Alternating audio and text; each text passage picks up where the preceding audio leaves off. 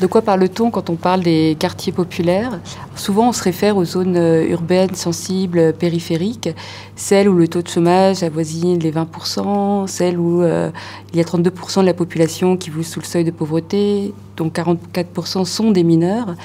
Mais on parle très peu justement au sein de ces quartiers euh, populaires des femmes, et souvent même des, mères de ces, de ces mineurs, qui ne sont pas simplement des mères au foyer, mais aussi des femmes qui travaillent et qui travaillent dur. Alors ce sont des femmes euh, que je n'aborderai pas du tout du point de vue euh, de la sexualité ou de la religion, comme on le fait très souvent. Notamment, je ne parlerai pas des jeunes filles voilées, mais je parlerai de, alors, de leur mère, ou alors encore de ces femmes qui viennent euh, d'arriver en France, celles qu'on appelle les primo-immigrantes, et qui sont souvent cantonnées euh, dans des travaux euh, subalternes, ce qu'on appelle en fait des travaux précaires de nettoyage, d'hôtellerie, de nurserie, etc., et dont on parle très peu. D'ailleurs, souvent, quand on, quand on s'y réfère, c'est euh, par rapport à, justement à leur côté maternel, simplement, et pas du tout par rapport à la force de travail qu'elles euh, qu'elles assument. Notamment, on avait entendu euh, pendant les émeutes de 2005 que ces mères devaient absolument garder leurs enfants chez elles. qu'elles étaient enjointes, encore une fois, à tenir, à être finalement, à rester à la maison et à tenir leurs enfants, à les brider. et puis, l'important ici, c'est de voir que finalement, il y a une espèce de, stigmate qui est utilisé par, les pouvoirs publics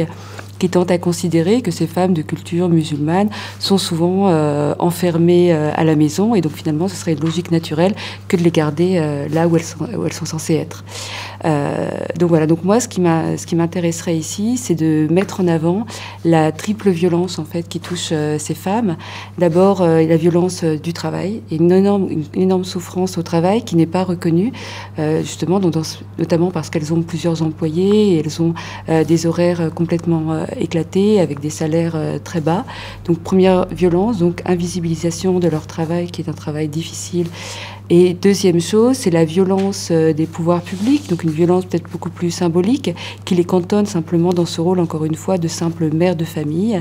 Et troisième violence, c'est une autre violence peut-être plus de type narrative, où elles sont euh, censées finalement reconduire les discours, euh, les discours d'État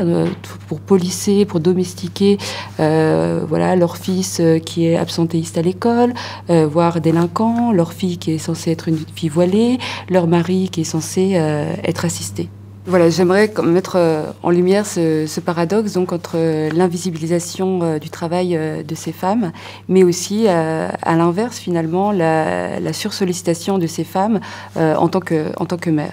Et donc là-dessus, j'aimerais notamment rappeler un événement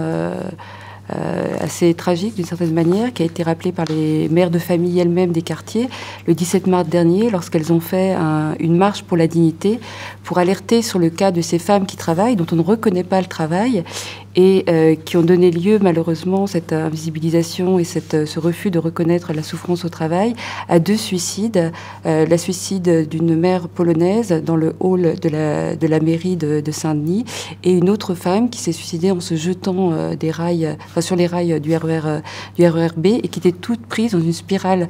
du surendettement. Donc c'est cette manière finalement de créer, de fabriquer des femmes débitrices qu'on qu'on invisibilise complètement, euh, qu'il est, intéressant, qu'il est même urgent de, mettre, en avant. Et euh, pour, justement pour, euh, penser comment est-ce qu'on peut essayer de défaire cette, fabrication de, femmes débitrices, la première chose peut-être, c'est de reconnaître leur travail et notamment de professionnaliser ce qu'on appelle les femmes relais qui,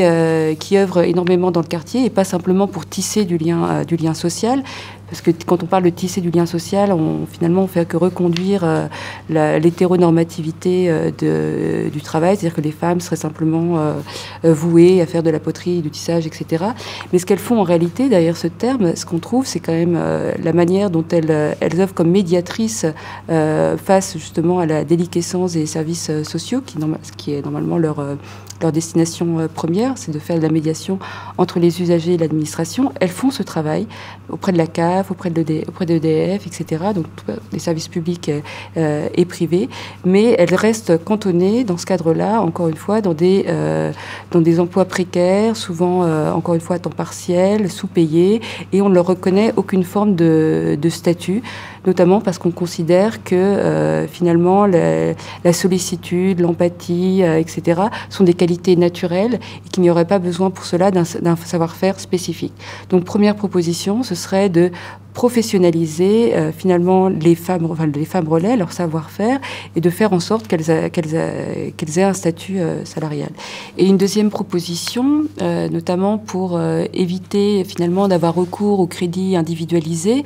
lorsque justement on a affaire à toutes ces, euh, à toutes ces charges, aussi bien au niveau du logement, du transport, la scolarité des enfants, euh, etc., ce serait pourquoi pas de euh, finalement de, mutualiser les décisions au niveau de, de l'endettement, au niveau de la ville, au niveau municipal, et pourquoi pas essayer de fomenter l'idée d'un budget participatif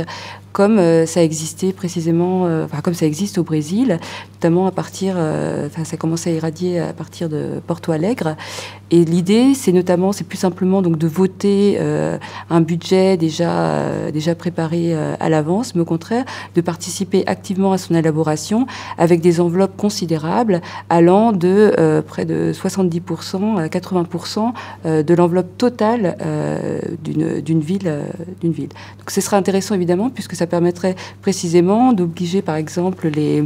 euh, de faire des chartes pour les sous-traitants, notamment. Ce serait une possibilité pour euh, revoir les, euh, les politiques de transport, les, et puis notamment pouvoir aussi mettre une pression sur les bailleurs sociaux pour les rénovations urbaines, etc.